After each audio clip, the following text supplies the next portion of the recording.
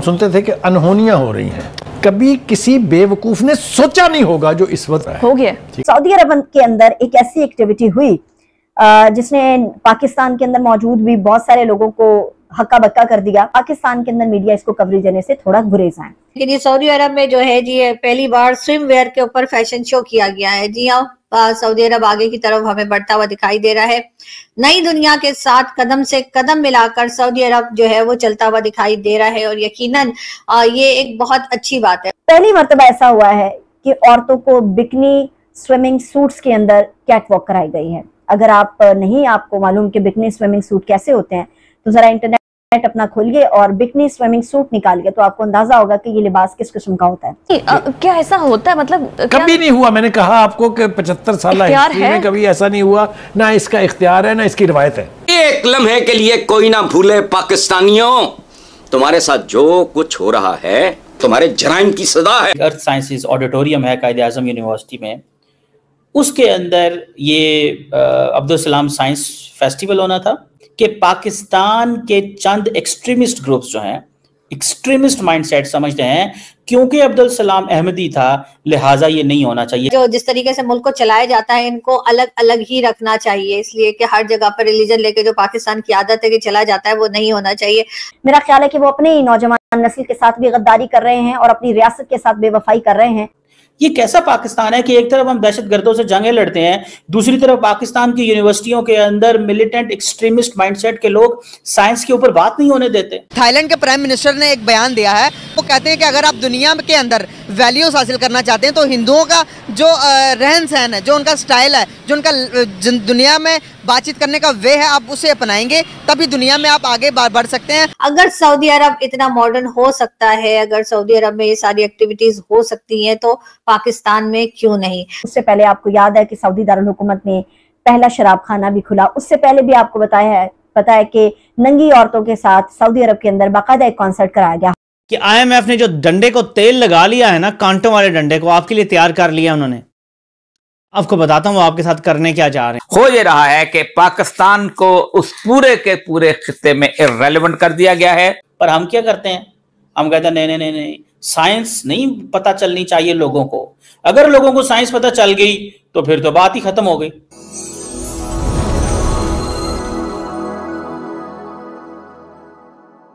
अब एक और बड़ा अहम इंसिडेंट वो सऊदी अरब से मुतालिक है। सऊदी अरब के अंदर एक ऐसी एक्टिविटी हुई जिसने पाकिस्तान के अंदर मौजूद भी बहुत सारे लोगों को हक्का बक्का कर दिया और दुनिया ने इसको बड़ा मज़े से पोलिटिसाइज भी किया और लाइमलाइट में भी रखा। पाकिस्तान के अंदर मीडिया इसको कवरेज देने से थोड़ा गुरेज है। सऊदी अरब के अंदर पहली मरतबा सऊदी अरब की तारीख में ऐसा हुआ है कि वहाँ पर कैट वॉक कराई गई है। ये कैट वॉक जो है, ये सऊदी दारुल हुकूमत, सऊदी का मगरबी साहिर है, जहाँ पर जजीरा है, उम्मत शेख।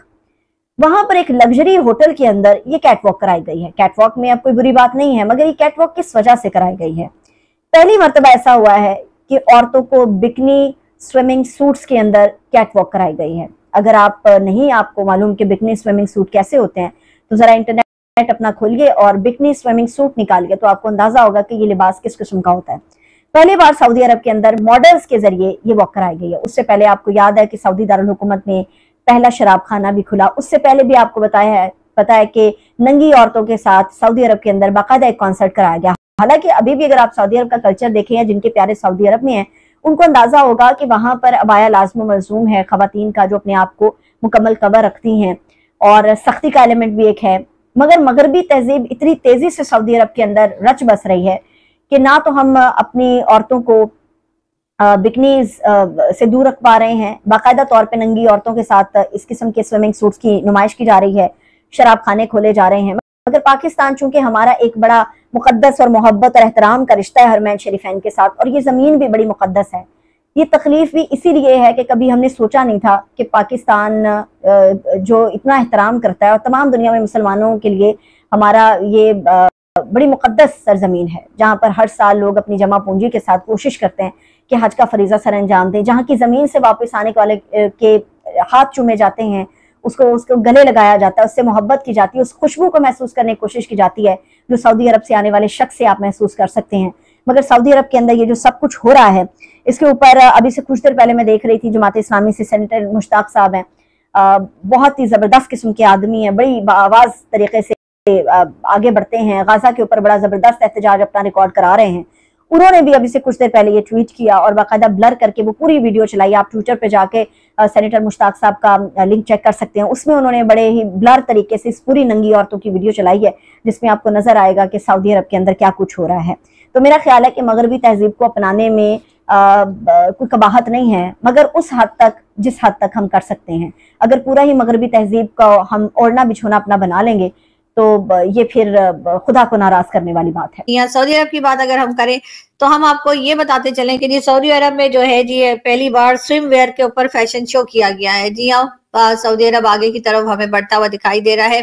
नई दुनिया के साथ कदम से कदम मिलाकर सऊदी अरब जो है वो चलता हुआ दिखाई दे रहा है और यकीनन ये एक बहुत अच्छी बात है। वरना को वैसे भी रिलीजन को और जो गवर्नमेंट होती है या जो जिस तरीके से मुल्क को चलाया जाता है, इनको अलग अलग ही रखना चाहिए। इसलिए कि हर जगह पर रिलीजन लेके जो पाकिस्तान की आदत है कि चला जाता है, वो नहीं होना चाहिए। अगर सऊदी अरब इतना मॉडर्न हो सकता है, अगर सऊदी अरब में ये सारी एक्टिविटीज़ हो सकती हैं तो पाकिस्तान में क्यों नहीं? ठीक है? फ़ैशन शोज़ वगैरह तो यहाँ भी हुआ ही करते हैं, लेकिन अगर हम थोड़ा सा और आज़ादी दें अपनी फीमेल्स को तो ही बेहतर होगा। जबकि दूसरी तरफ़ हम अगर अफ़गानिस्तान की हालत देखें तो अफ़गानिस्तान में जिस तरह से स्कूल जो है लड़कियों के, वो बंद कर दिए वैसे वो तो पाकिस्तान में भी दो एक जगह पे स्कूल जो है केपीके के एरिया में जो है मैंने सुना है, बल्कि खबर भी देखी है। कि स्कूल जो है, उनको जला दिया गया। उससे यकीन नुकसान ही हुआ है हमारी बच्चियों का, लेकिन पाकिस्तान में इस तरफ़ कोई तवज्जो नहीं दे रहा है, किसी को कोई ये खास बात नहीं लगती। प्राइम मिनिस्टर शहबाज शरीफ साहब ने भी इसके ऊपर कोई खास स्टेटमेंट नहीं दिया। ना ही उन्होंने ये कहा है कि ये कौन लोग कर रहे हैं इन लोगों को पकड़ा जाए लोगों को अरेस्ट किया जाए इनको सजाएँ दी जाए। लेकिन अगर हम सऊदी अरब की बात करें तो सऊदी अरब जो है वो हमें आगे बढ़ता हुआ दिखाई दे रहा है और यकीनन ये एक बहुत अच्छी बात है। सऊदी अरब ने के जो एम बी एस है यानी कि मोहम्मद बिन सलमान उनका ये भी कहना है कि जी हम लोग जो है वो अ, पाँच साल के बाद सऊदी अरब को यूरोप बना देंगे। तो बिल्कुल सऊदी अरब में हर तरह के फ़ैशन शोज़ जो है, वो भी किए जा रहे हैं। उसके लिए भी अनाउंसमेंट की गई है। साथ साथ फीमेल्स को आज़ादी दी गई है। वो अब ड्राइव भी कर सकती हैं बगैर महरम के। यानी महरम उनको कहते हैं, अगर किसी को नहीं समझ आ रही या नहीं आती तो मैं बता दूँ कि इस्लाम में महरम होता है। बाप, भाई बेटा या हस्बैंड ये चार रिश्ते ऐसे हैं जिनको के महरम कहा जाता है और इनके साथ ही उम्र या हज किया जा सकता था लेकिन अब ऐसा नहीं है। अब हज उम्रे के लिए जो है आ, वो कोई ज़रूरी नहीं है कि महरम साथ हो। जो लेडीज़ हैं वो अकेले जाकर भी जो है वो हज या उम्र कर सकती हैं। इसी तरह के कई चेंजेस जो हैं आ, वो सऊदी अरब में लाए जा रहे हैं जिसमें कि मैंने आपको पहले भी बताया था आपको वैसे भी आप लोगों को पता होगा कि जो लिकॉर है या कहिए कि जो ड्रिंक्स हार्ड ड्रिंक्स होती हैं उसकी या शराब कह लीजिए जी उसकी भी जो है वो वाइन वाइन शॉप भी जो है वो खोल दी गई है और उस तरह की आज़ादी भी जो है सऊदी अरब उस तरफ़ भी जा रहा है और यकीन वो टाइम दूर नहीं जब सऊदी अरब से भी जो है वो फ़ैशन शोज़ हुआ करेंगे और लोग जाकर सऊदी अरब में हिस्सा लिया करेंगे मॉडल्स होंगी जो लड़कियाँ होंगी वो यकीन सऊदी अरब जाने में खुशी महसूस करेंगी। तो पाकिस्तान को भी थोड़ा सा अपने आप को दुनिया के साथ चलाना चाहिए और बार बार जो यहाँ पर अजीब अजीब बातें की जाती हैं कभी कादियानियों की बात कभी शिया कभी क्या करके। आज भी मैं एक वीडियो देख रही थी सोशल मीडिया के ऊपर किसी मुल्ला की थी और वो बुरी तरह से डॉक्टर परवेज हुद भाई के पीछे पड़े हुए थे कि जी उन, उनसे बात नहीं करनी चाहिए उन, उनकी बात नहीं सुननी चाहिए और साइंस में कुछ नहीं रखा हुआ मैथ्स में कुछ नहीं रखा हुआ और इसी तरह से वो मुल्ला जो है वो कभी अ, अहमदियाज को बुरा भला कह रहा था और कभी डॉक्टर हुद भाई को कह रहा था और इस तरह से तो ये ये वाला माइंडसेट जो है, इसमें से पाकिस्तान को निकलने में ठीक है, बहुत साल लगेंगे, मैं ये नहीं कह रही कि वो आज ही ठीक हो जाएगा सब कुछ। लेकिन हम शुरुआत तो कर सकते हैं, हम स्टार्ट तो ले सकते हैं कि हम आज से ही किसी के भी मतलब किसी रिलीजन को, चाहे किसी की सोच को, हम बुरा भला नहीं कहेंगे। हर एक अपने हिसाब से सोच सकता है, हर एक अपने हिसाब से एक्ट कर सकता है। जहाँ तक आप किसी को तकलीफ़ नहीं दे रहे, जहाँ तक आप किसी को बुरा भला नहीं कह रहे, जहाँ तक आप किसी को की लेग पुलिंग नहीं कर रहे या आप किसी को परेशान नहीं कर रहे वहाँ तक आपकी सोच जो है वो बिल्कुल आपकी अपनी होनी चाहिए। आपको जिधर जा, चाहे जहाँ चाहे जाकर आपको दुआ पढ़नी है आप पढ़िए। जहाँ जिस रिलीजन को फॉलो करना है करिए जैसे रहना है रहिए। जो पहनना है पहनिए जो खाना है खाइए लेकिन लोगों को जीने दीजिए। दोस्तों पाकिस्तान की एक न्यूज़ एंकर की तरफ़ से उसी तरह का रिएक्शन आया है जिस तरह के रिएक्शन की हमें पाकिस्तान से उम्मीद थी। लेकिन हमें उम्मीद थी कि शायद पाकिस्तान का कोई मर्द इस तरह के रिएक्शन देगा। लेकिन ये तो औरत ही औरत की आज़ादी के खिलाफ है। पाकिस्तान की कुछ औरतों के दिमाग भी इतने एक्सट्रीम जा चुके हैं। इनसे ये भी नहीं सहा जा रहा है कि सऊदी अरेबिया में एक स्विम सूट कॉम्पिटिशन क्यों हो रहा है। सऊदी अरेबिया अपने घर में क्या करता है, वो उसका अपना मामला है, वो अपने आप उसको देख ले। हमें या पाकिस्तान के लोगों को इसके ऊपर कोई भी आपत्ति नहीं होनी चाहिए, क्योंकि हर एक की अपनी सॉवरेनिटी होती है। इन पाकिस्तान के अपने मामलों में अगर कोई दखल दे दे तो ये लोग तो चीख चिल्लाहट मचा देते। कि हमारे घरेलू मामलों में कोई क्यों दखल दे रहा है? ये लोग चिल्लाना शुरू कर देते हैं कि हमारी सॉवरेनिटी को भंग किया जा रहा है। जैसे कि आईएमएफ भी इनके ऊपर जब कड़ी शर्तें लगाता है, तब ये लोग आईएमएफ को भी ये कहते हैं कि आईएमएफ हमारी सॉवरेनिटी के खिलाफ जा रहा है। लेकिन फिर इनको भी दूसरों की सॉवरेनिटी का ख्याल रखना चाहिए। लेकिन वो बात तो चलो अलग रह गई। ये लोग सऊदी अरेबिया की सॉवरेनिटी को कुछ नहीं जानते। इनके दिमाग में ये भी फितूर चल रहा था, इनका जो पुराना प्रधानमंत्री था इमरान खान, वो यही चाहता था कि सऊदी अरेबिया और पाकिस्तान को एक कर दिया जाए। वो एक तरह से सऊदी अरेबिया के ऊपर कब्जा करने का ही प्लान बना रहा था। और इनका कोई पता भी नहीं है कि ये लोग आने वाले टाइम में एमबीएस के ऊपर कोई हमला करवा दें या फिर सऊदी अरेबिया के ऊपर कब्जा करने की कोशिश करें। इनके बारे में कुछ नहीं कहा जा सकता। इन लोगों की मैंटेलिटी इसी तरह की है। ये लोग हर एक मुस्लिम देश को अपना देश समझते हैं। इनको लगता है कि हर एक जो मुस्लिम देश है, वो इन्हीं का देश है। लेकिन ऐसा नहीं है। हर एक देश की अपनी सॉवरेनिटी होती है। हर एक देश अपने मामले खुद कंट्रोल करने का पूरा हकदार होता है। उसको पता होता है कि मैंने आने वाले टाइम में मेरे देश को कैसे चलाना है, जैसे एम साहब हैं। उनका जो विजन है, वो पाकिस्तान के लोग नहीं समझ सकते। उनको अगर वेस्टर्न कल्चर पसंद है तो उनका ये पूरा हक बनता है कि वो लोग अपने देश में वेस्टर्न कल्चर लेकर आएँ। किसी दूसरे देश को उनको रोकने का कोई हक नहीं बनता। और वैसे भी हमने देखा है कि एम साहब की मैंटेलिटी और उनका विजन इस तरह का है कि वो हर चीज़ में पाकिस्तानियों की तरह अपने धर्म को नहीं लेकर आते। उनको जो करना होता है, वो करके दिखाते हैं। उनकी पब्लिक उनका साथ देती है, उनकी पब्लिक उनके खिलाफ नहीं जा सकती। पाकिस्तानियों की तरह वहाँ पर नहीं होता। वो अपने देशवासियों को अच्छी लाइफ दे रहे हैं, अपने देशवासियों को सभी तरह की सुख सुविधाएँ दे रहे हैं।